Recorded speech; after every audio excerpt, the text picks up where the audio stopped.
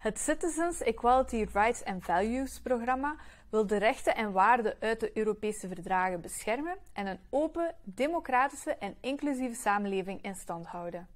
Het programma bestaat uit vier pijlers: het beschermen en promoten van de Europese waarden, gelijkheid en rechten, het engagement en betrokkenheid van burgers en tot slot de Daphne-pijler, die de strijd aangaat tegen elke vorm van geweld.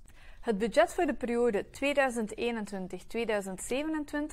bedraagt 1,55 miljard euro. In principe kan elke organisatie met een rechtspersoonlijkheid deelnemen aan een project.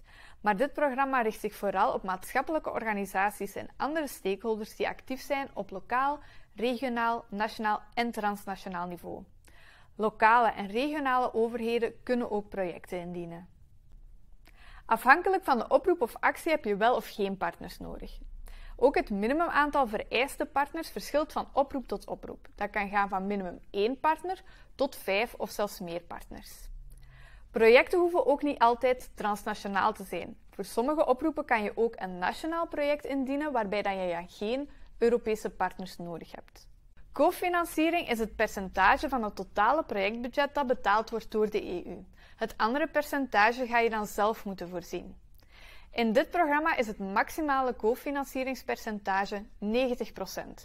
Het percentage verschilt van oproep tot oproep, dus lees de tekst van de oproep altijd zeker goed na. Zit je met een projectidee of heb je nog vragen over dit programma? Neem dan contact op met het Fleva Subsidieteam.